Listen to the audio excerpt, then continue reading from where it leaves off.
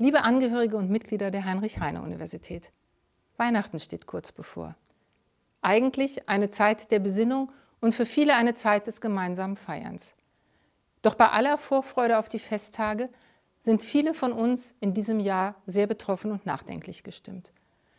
Der grausame terroristische Angriff auf Israel hat uns alle zutiefst bestürzt.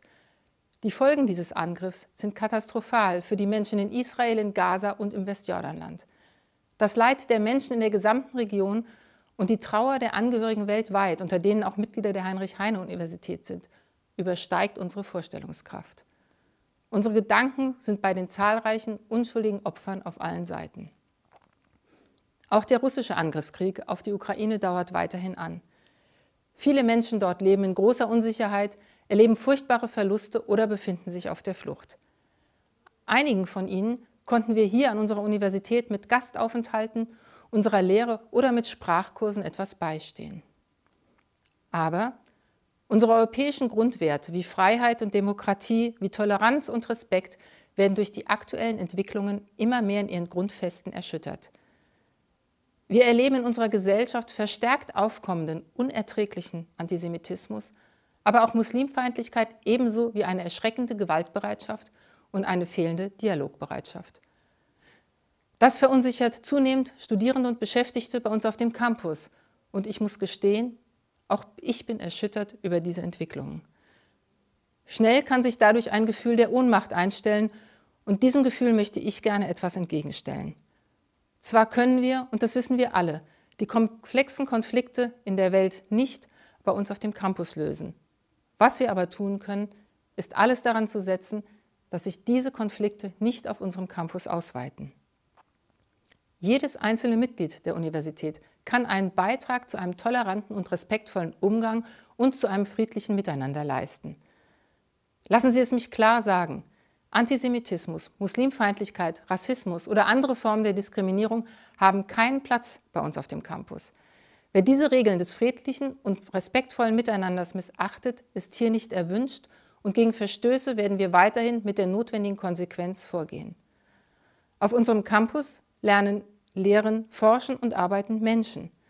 Menschen verschiedenster kultureller, ethnischer und sozialer Herkunft, Menschen mit unterschiedlichen Religionen oder Weltanschauungen, mit verschiedenen Bildungshintergründen und mit unterschiedlichen körperlichen und geistigen Fähigkeiten, Menschen unterschiedlicher sexueller Orientierung und geschlechtlicher Identität. Sie alle sind willkommen, Sie alle haben die gleichen Rechte. Sie sollen hier lernen, lehren, forschen und arbeiten können.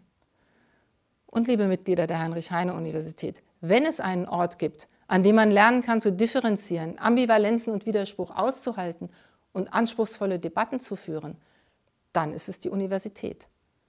Wir können erleben und vorleben, was es bedeutet, abweichende Meinungen anzuhören und zu diskutieren. Niemals aber dürfen wir sie vorschnell ablehnen und sie schon gar nicht mit Gewalt beantworten.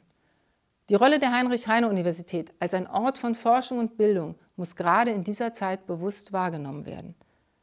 Es ist unsere Aufgabe als Universität, zu einer Versachlichung der öffentlichen Debatte beizutragen. Und es ist, ist, genau das, was wir können, denn gerade wir verfügen doch über das Handwerkszeug, einen differenzierten Diskurs zu führen. Wir können uns hochkomplexen Fragen vorurteilsfrei mit wissenschaftlichen Theorien und Methoden nähern. Das versetzt uns in die Lage, umzugehen mit Ambivalenzen und widerstreitenden Meinungen, Zwischentöne zu hören und die Grauschattierungen zu sehen. Als Ergebnis präsentieren wir dann zwar keine vermeintlich einfachen Antworten, keine moralisch aufgeladenen Parolen als Ergebnis eines auferlegten Bekenntniszwangs, dafür aber gut durchdachte Szenarien, tragfähige Lösungen und realistische Utopien. Die nun anstehenden Festtage erinnern uns daran, wie wichtig es ist, zusammenzustehen und hoffnungsvoll auf die Zukunft zu blicken. Lassen Sie uns versuchen, der hohen Veränderungsgeschwindigkeit unserer Zeit mit Innehalten zu begegnen und uns auf die Möglichkeiten zu besinnen, die der universitäre Raum bietet. Im Namen des gesamten Rektorates wünsche ich Ihnen, Ihren Familien und Ihren Freunden erholsame und besinnliche Feiertage. Kommen Sie gut und gesund in ein hoffentlich friedlicheres Jahr 2024.